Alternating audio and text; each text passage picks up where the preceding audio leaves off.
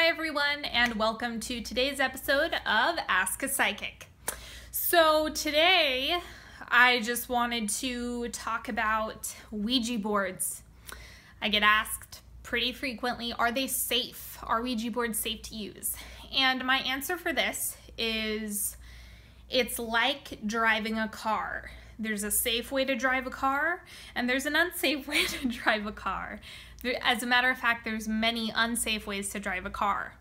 So when we are talking about Ouija boards, it's a way to receive information. I I believe that Ouija boards are real, like that it's a way to receive information because there's lots of ways to receive information. Look at crystal balls, tarot cards, pendulums, runes, all of those are ways to receive information. And so um, a Ouija board is a way of receiving information.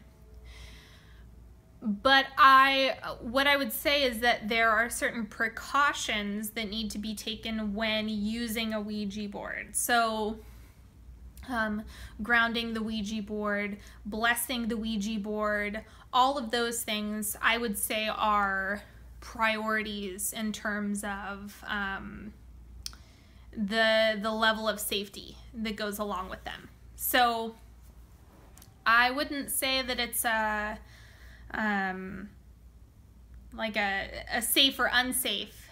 It's you can use one safely and you can use one unsafely. I do not use them. I have no interest in using them. Um, I don't, I just, I don't know. I I find them kind of creepy. I'll be honest.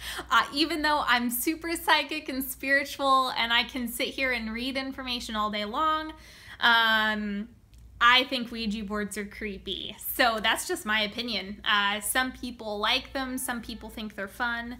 Um, my uh, mother is highly, highly, highly intuitive and psychic, and um, she likes using a Ouija board.